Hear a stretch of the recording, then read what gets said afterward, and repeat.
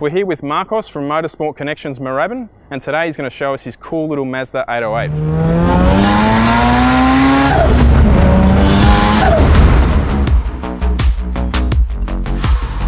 So how long have you had the car for? Uh, I've owned it for about four and a half years now. Yeah, I bought it as a naturally aspirated stock 808 with a four cylinder in it. And originally I had plans to just get it running as it is with Yeah. a four speed gearbox and just cruise it around. And a four banger. Yeah, four banger with you know chrome bumpers and just uh, and just cruise around. No no speed obviously with that 60 horsepower engine. So it must have been the last 808 left in Melbourne that didn't have a rotary already. it actually wasn't uh, in Melbourne. I actually, Yeah. you know, their rarity. I- Yeah. I found it in Tamworth, New South Wales. Okay. Just some dude that had no more time for it. His uh, old man and, and him had painted it and uh, and kept it in really good nick. And uh, I was really lucky to, to have found it. And yeah, I do think they're it's one of the last last lingering original bodies, you know, with a four cylinder. Is this the it. original colour? Original colour, yeah. like I said, just a coat of paint over it. Original interior with the exception of the seats. And yeah, this is the condition I found it in. I changed wheels and, and drivetrain in it. So you were saying earlier how you got into the rotaries was you bought another donor car. Yeah, okay, so this car was going to be a four banger and then I changed my mind and said, you know, I want to feel a little bit uh, more acceleration than that. And uh, and said, you know, how can I afford to put a rotary in this? It, it's pretty expensive doing um, projects. And uh, I found a donor car, a, a wagon with a Series 5 RX-7 FC engine in it, turbocharged, ECU, a diff that would run in my car, everything that was changed. everything you could. Everything that I could change over. Just the body on this car was much better than the other one. So I decided to uh, take on that as a project, save a little bit of money that way and, and, uh, and build it from, um, from, another, from another car. So did it just have like a Mazda high, Mazda type turbo on it or? Yep, yep. Yeah. So it had a stock Series 4 turbo with um, a high float front wheel. Okay. Did you ever race it like that? I did. So I started off uh, racing it with a set of 14 steel van rims on the back, that high float turbo and that Series 5 engine. And I think I was I was running 12s for a long time and, and trying to crack an 11. So Yeah, that, that, was, that was my goal. And it was a really fun car. It ran really well. It was on 11 or 12 PSI. And it was, it was a lot of fun. Power to weight rules, doesn't it? That's right. yeah. Not a whole heap of power and you're 950 kilo car and a little bit more with a driver in it. Yeah. Uh, doesn't need much power to get it going. So what did you do after that? Explain your upgrade path. All right, so we went from the Series 5 engine, which was an import engine. It was unopened. Uh, I didn't know the history behind it either. I went from that engine with a high flow turbo, uh, running. Yeah, I cracked an 11 with that with that setup. Um, thought I'd stop there, and never really does. Um, and I bolted a Garrett turbocharger to the side with an external gate, and that got me. Where'd that get me into? That got me into the really low 11s. And uh, one day we So were. at that, sorry, at that point you're still running a Series 5 five speed? Yeah, so I've, at that point I've still got a Series 5 5-speed Hilux diff and, and just the turbocharger upgrade. I've still got a really old Microtech in it and just a really simple rotary classic setup. Yep. After running 11s for quite a long time, I gave it a little time to, uh, to uh, sink in that I wanted to go faster and um, decided to do an engine upgrade. I pulled out the Series 5 engine, sold it off because I had another engine being built to help with downtime. And then when I got it back, I was expecting to just bolt on stock inlet manifolds and everything back on. I sold the old engine as a block. Um, I find out from the guys at Promaz that I'd been upgraded to a FD engine. So you gave them a Series 5 engine and they gave you back a Series 6 engine. I got back a Series 6 engine, which I wasn't. can't really complain I wasn't that. complaining at all. We Yeah. did a little bit of a uh, wheel and deal there, and, and, I, and I got an, a really big upgrade. So I was, I was very happy with the guys there. Yeah, awesome, awesome. So now what, what's the current setup on it now? So the current Is setup like, is, it, what have you done internally to the engine? internally it's, it's, it's quite stock. This car was always built to be on petrol Yep. and, and not a lot of horsepower, not a lot of boost through it. So uh, internally it's just built with a mole port. It's got a set of aftermarket seals, Yep. E and J's. Oh, so, so other than that, it's got a Mazda water seal kit through it and that's it. Yeah, it's, it's just built from Promaz and, and, um, and just done well. Yeah, and what turbocharger's on it now? Uh, that's a well, it's a bit of a Bitzer that that turbocharger, and I want to give um, somebody a plug for that too. It's a GT35, so a 3582, but it's been modified on the inside. It's got a, a larger rear wheel and a larger front wheel, and Ben at ProCharge does that, and I'm really happy with the results. It just fits in the standard T3 turbine housing. Uh, it's a 106 Yep. and it bolts up as per my old setup used to, except it makes a lot more power, it's a lot more responsive, and it's just a, a really nice high flowing turbo for these little rotary And engines that flow a lot. On about 18 pounds. Yeah, it, it, it steps up from about 18 to 20, depending on, on, on the day and the ambience. It could, on a nice cool night, it, it can it can go a little bit higher. yeah. And interestingly, you haven't, like a lot of people, made the switch to E85, which I kind of like. You've kept it on pump fuel. Yeah. But how are you doing that? Okay, so rotaries on pump fuel don't like much more boost than about hmm. 14 pound. Look, everybody's got their ways to tune. Yeah, them and their yeah. theories, but that, that's what we've learned and we're pretty conservative. To combat that with a little bit more boost or to give it a little bit more boost and not change over to E85 because this car's only got a 40 litre fuel tank in it. And I mean, E85 can just be, uh, you know, really uh, high consuming rates. So we've just put a little bit of water methanol injection in it.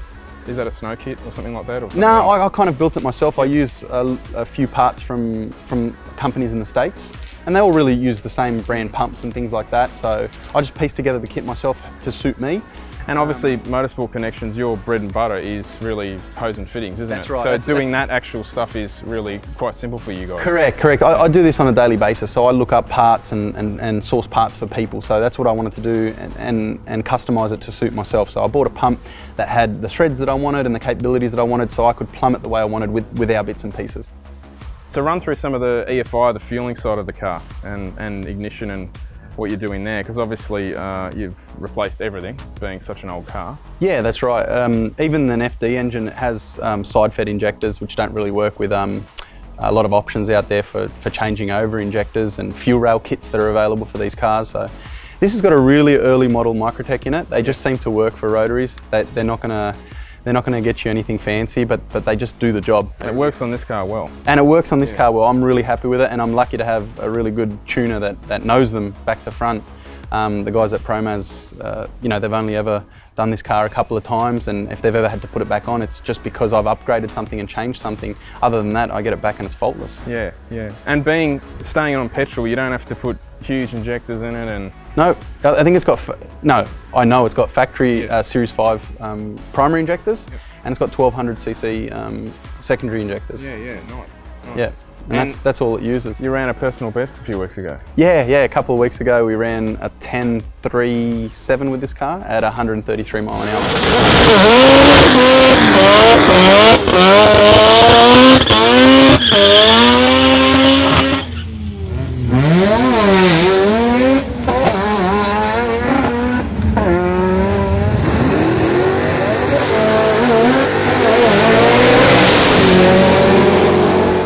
And that's only on a, I that's only on a 225 On a road. 225 radial and and with an upgraded gearbox too. So we're not running that Series 5 Mazda box anymore. This has got a, it's still a H pattern. It's a Supra R154 turbo box. Yeah, yeah, they're pretty uh, sought after now, aren't they? yeah, yeah, yeah. Getting a bit harder to get than they used to be able to. Yeah, that's right. Well, second-hand ones are few and far between, um, but they are they are still available if you if you look hard. So is that a rebuilt box? Yeah, there's a little mod that you have to do to them to make them more efficient than they were. They- They're a big sturdy box, but back in the day they, they would break them because of um, a first gear thrust washer and, a, and a retaining plate. They handle maybe another 100 or 150 horsepower Okay. with, with modding them like that. Yeah. Yeah. Just simple things. So, Yep. uh, what sort of clutch are you running? It's not a twin plate, so it's still drive. I wanted to keep the drivability of this car and not make it a, an aggressive car or a hard to drive car. Anybody can hop in it and just take it for a spin. And Does and it run an internal slave?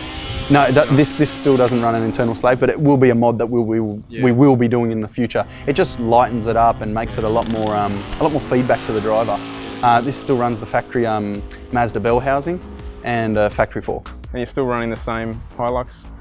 No, we've upgraded the diff too. Um, uh, drag racing takes a toll on parts. yeah. The car would be faultless if I didn't take it drag racing, but unfortunately, when you take it to the track and you dump And the clutch, Manuals are pretty hard on rear ends. manuals are very hard on the cars and and hey it's no secret you break stuff when you go to dra- drag racing and uh, I broke stuff and we fixed it and and we barely had any downtime and we've now got it to a pretty manageable state where we can drag race it and, and street drive it as long as we uh, as we keep as long as we keep the street driving at a higher level than the drag racing. Yeah. Is there anything else you're going to do at this end of the car? Look, Are you I- sort of happy the way it is? I'm really happy with the with the way it is. I don't really want to change anything.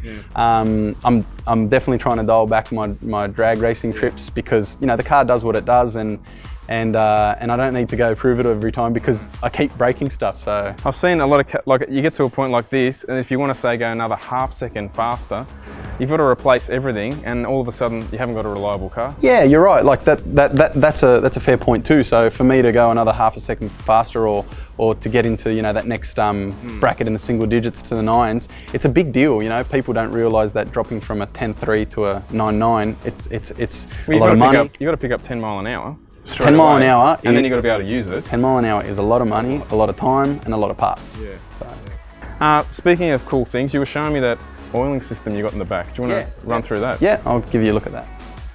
So give us a rundown on what, what this is all about, because a lot of people don't understand how Mazdas work with premix and the oiling system. All right, so the, the basic run through, and I hope I get this right, is a stock Mazda engine runs with oil injection. It gets a little bit of sump oil injected into the rotor housings to help lubricate the motor and keep it cool. And we delete that for simplicity and for efficiency.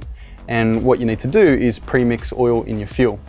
Now, there's a lot of guys out there with a bucket in the back of their car, a couple of old rags, a beaker, and they're trying to uh, calculate how much fuel to oil ratio they need to mix. You'd see them at the on service calculator. station Yeah. pouring pouring Yeah. into the petrol tank and just guessing and Yeah, I've tried to simplify things, and I've um, I've bolted to my surge tank box there a little oil canister. It's got markings on the inside, and it lets me you know 10, 20 liter, or 30 liter increment ratios to, to to filling points for the oil for how much fuel I'm filling up. And uh, yeah, I just crack a tap, and it and it bleeds the um, the oil directly into the return line for the um, surge tank. Yeah, okay. Yep, so it just washes the oil down, Yep. gets it um, nice and mixed with the fuel, and then by the time it's done a couple of cycles with the pre-pump into the surge tank, um, it's well and truly mixed well in there. Fuel Pro surge tank under there. I've, I've bolted a box to it so that you can use this car space per, as per normal, and Yeah. for legalities too. I mean, you don't want a fuel system just Smell and stuff yeah, in there. it stinks, and, and you really don't want a fuel system exposed in an open cabin car like that.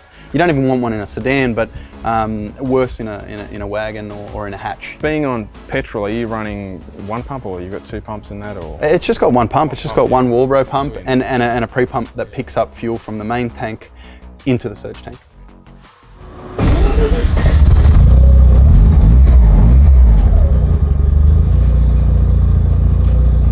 I just noticed earlier, mate. I like how you've still got the uh, old style wheels. I guess you haven't got some FR19 Simmons. Yeah. The, the small 15, you know, inch wheels, 14, 15 inch wheels look great on small old cars. Yeah, the brake kit that ended up going on this car was a Series 4 5 Mazda FC brake kit and it had a 4x110 pattern and you know I wasn't that fussed because of that exact reason. I like I like that period look. That um, and the globes or the um, Challengers suit it quite well. In my opinion, you know, cars are style and taste and they've got to suit they've got to suit what you like.